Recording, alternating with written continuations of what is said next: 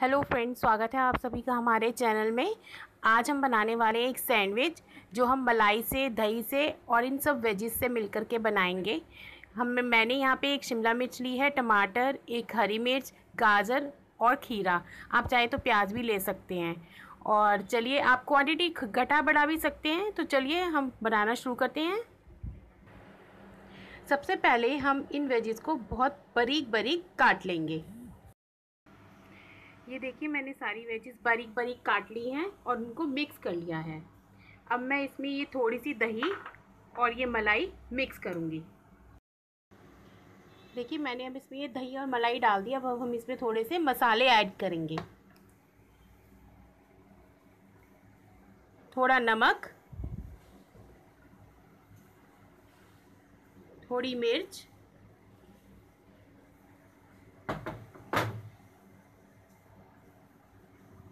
और बिल्कुल थोड़ी सी काली मिर्च।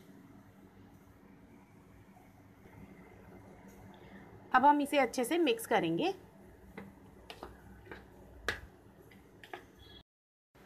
अब हम ये मिक्सचर ब्रेड में भरेंगे और टोस्टर में सेकेंगे।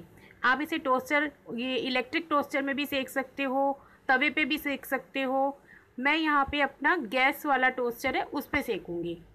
तो चलिए, लगाते हैं ब्रेड के अंदर इस मिक्सचर को। फ्रेंड्स ये बनाना जितना आसान है, खाने में उतना ही टेस्टी लगता है।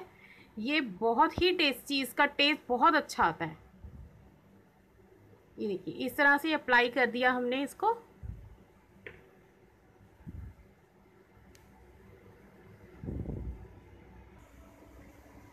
देखिए, मैं इस टोस्टर में बनाऊँगी।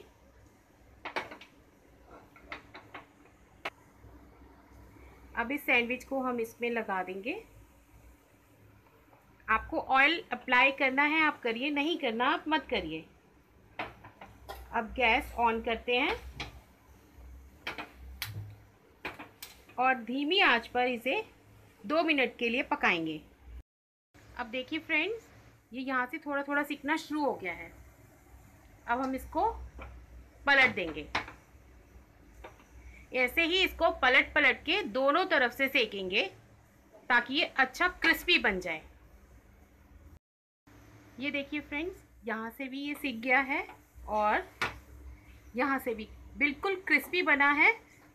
ये देखिए, अब हम गैस की फ्लेम ऑफ़ कर देते हैं और इसको प्लेट में निकाल लेते हैं।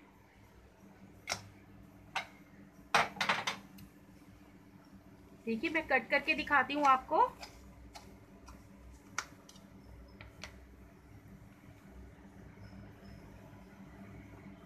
मुँह में पानी आ जाए, ये ऐसी डिश है।